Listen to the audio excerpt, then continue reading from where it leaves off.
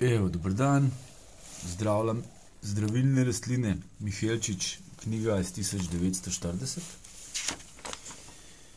Založila,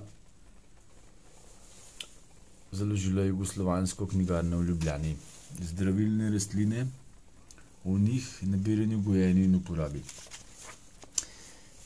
Kaj bi vam rad pokazal na strani 95?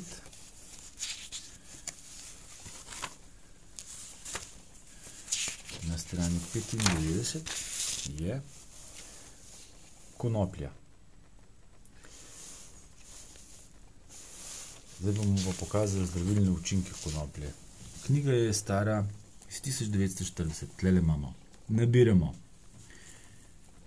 seme v septembru, septembru, lastnosti vsebuje grenko snov, mastno olje v semenu, voda od listov pospešuje izločanje seča. Uporaba tu in tam pripravljajo iz semena in listov čaj, dva do pet gramov na skodelico vode ali mleka, ki ga priporočajo pri bolečinah in krču v mehurju, kamnih v ledvicah, pri revmi in protinu, pa tudi pri pljučnici, suhem kašlju in raznih kožnih boleznih, spuščajih.